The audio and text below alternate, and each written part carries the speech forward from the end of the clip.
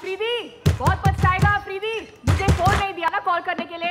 तेरे उस जनाब जूनियर से कह के वर्दी उतरवा के बच्चों के पाप में फूके ना बिकवाए तो हैप्पी नाम नहीं। लास्ट वार्निंग दे रही हूँ। मुझे इंडिया एक कॉल करने दे, वरना तेरा दाना पानी उठा दूँगी लाहौर से। सुन रहा है तू? तुझे आइडिया नहीं है? तेरा जनाब जूनियर कितना मानता है मेरी? उंगलियों पे नाचता है, उंगलियों पे। अभी भी मौका है वर्दी बचा ले। वरना लाहौर से सीधे काबुल करवा दूँगी तेरा ट्रांसफ़र तालिबानियों के बीच। और तू? चलो। देखो एक चलो। गाड़ी में बिठाए इन्हें। और दो चार लोग और ले जाए भाग जाती हैं।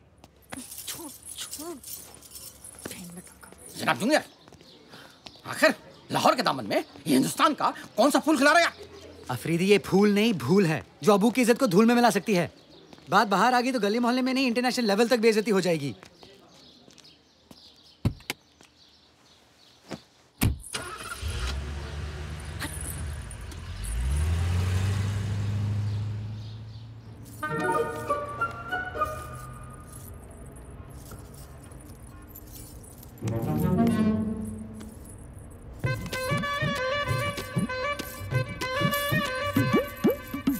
अपने घर से भाग गई।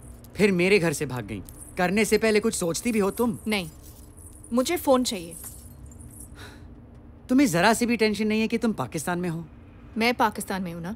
टेंशन पाकिस्तान को नहीं चाहिए मुझे नहीं। स्क्रू ढीला है तुम्हारा जानती हो? एनीवेज तुम्हें इंडिया भेजा जाएगा। अभी इसी वक्त। बुलशिट तुम मुझे भेज ही नहीं सकते हो। ओ मैं भेज रहा हूँ। ओके डिपोटेशन वाले आएँगे तुम्हें ले सोचना जाएँगे। भी मत। मुझे पता चल गया है कि तुम्हारी फैमिली का नाम कितना मशहूर है। और कितना मजबूर हो सकता है मेरी वजह से। मीडिया से चिल्ला चिल्ला के कह देना है मैंने कि जावेद अहमद और बिलाल अहमद बिना पासपोर्ट वीज़ा इंडिया से लड़कियाँ यहाँ लाते हैं। और उनसे पता नहीं क्या क्या मैं तुम्हें इज़्ज़त से घर भेजना चाह रहा हूँ। और तुम मुझे बदनाम करने की धमकी दे रही हो? Yes Can't believe my ears.